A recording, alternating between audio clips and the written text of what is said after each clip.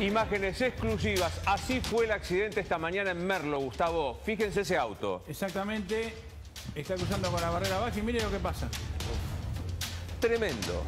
El tren, la formación del Sarmiento. Iban cinco personas en ese auto. Paso del Rey Merlo, paso del Rey Merlo. Paso a nivel Los Patitos, entre Paso del Rey Tomado, y eh, Merlo justamente. Ahí fue este terrible Se accidente.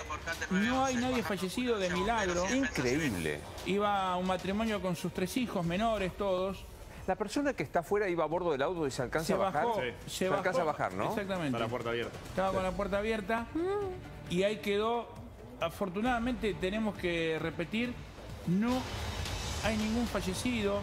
Sí, las cinco personas tuvieron que ser derivadas al hospital de Merlo con eh, diversos traumatismos y heridas de diversa consideración. Pero repito, así quedó el auto. Acá se ven dos cosas, ¿no? Eh, Gustavo Luis. Sí.